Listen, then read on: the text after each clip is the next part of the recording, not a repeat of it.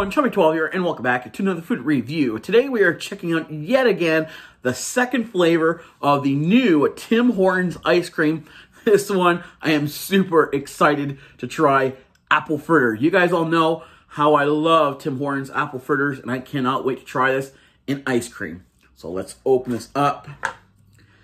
Yet again, the Canadian flag, heart, and ice cream cone. And I like these paper. It's like a paper Okay, I don't think the ice creams really smell anything. I think it's the flavor. You have to try it. So this one has apple spice flavored ice cream with apple pieces and brown sugar cinnamon ripple. There's actual apple pieces in here with apple pieces with brown sugar cinnamon swirl. So the swirl is like the uh, caramel swirl from the Iced Capp, but this one's apple or brown sugar and cinnamon. Okay, so let's try this.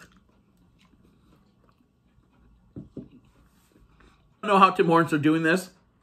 this one's so good. Spot on. Apple fritter once again. Wow. Tim Hortons, I don't know how you guys do it. You guys perfect exactly the item you are trying to recreate. I'm definitely getting that apple fritter taste I love from Tim Hortons. Wow. You see the cinnamon brown sugar swirl.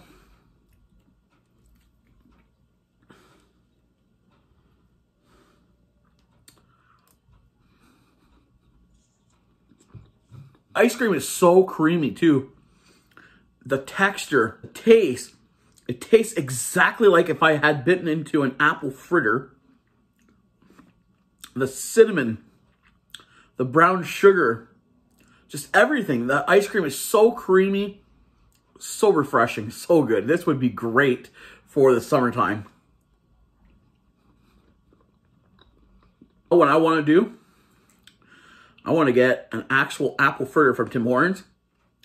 Put a scoop of ice cream on top of the apple fritter. I'd like to do, go to Tim Hortons, get an apple fritter, heat it up in the microwave, put a scoop of apple fritter ice cream on top. That would be so good. I might have to try this. How they do it. I really don't know how they do it. Tim Hortons. Oh, look at that. I think I got pieces of apple right here.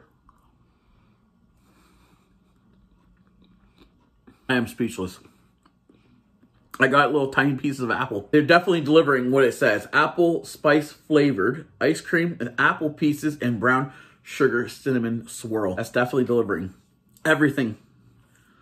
The swirl is what makes it look like the actual Tim Hortons apple fritter. Wow, look at that. I have to take one more bite because this is so good.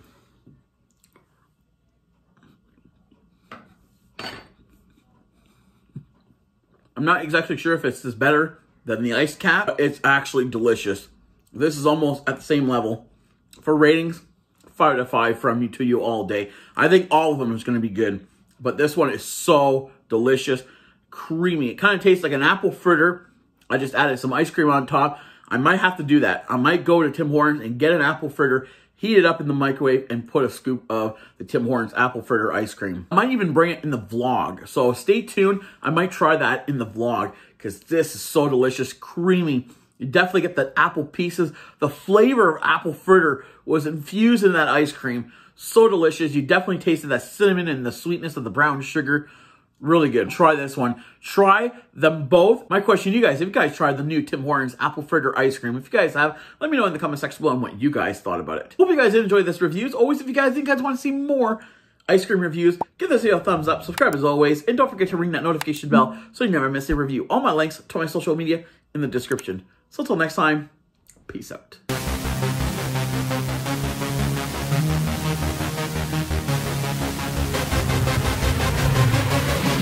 Yeah.